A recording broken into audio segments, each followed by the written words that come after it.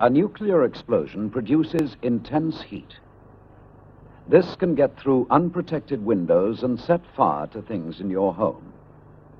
But there are steps you can take now to cut down the risk. First, whiten your windows with white paint to reflect some of the heat away.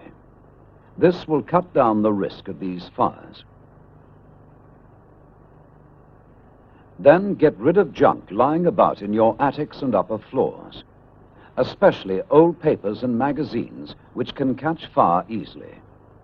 The heat from the bomb strikes at attics and upper floors most easily. And fires there are usually the hardest to put out, so pay particular attention to these places.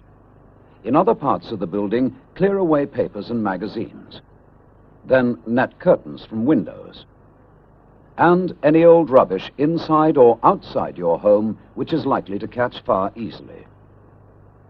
Small fires can be put out easily if they are tackled at once.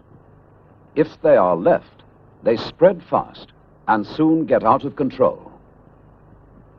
The fire brigade may not be able to reach you, and you will have to protect yourself without any help. So prepare now. If you have a fire extinguisher, keep it handy. Or a garden hose could be very useful. Keep buckets of sand and water ready on each floor.